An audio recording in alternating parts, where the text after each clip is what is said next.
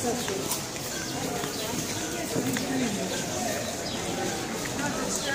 do have one. I just bought the umbrella when it was down.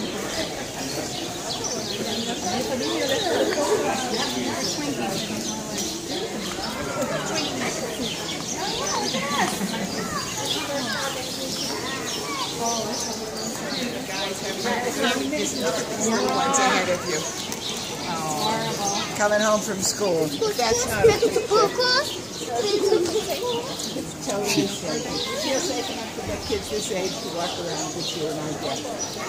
Okay.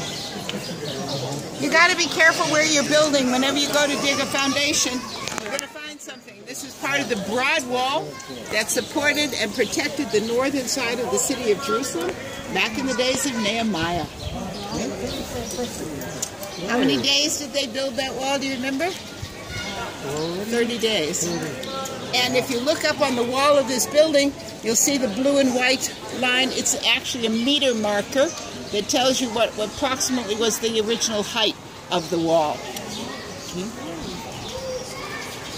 Now, a broad wall is different from the casemate walls that we saw on Masada. The broad walls have large stones on the outside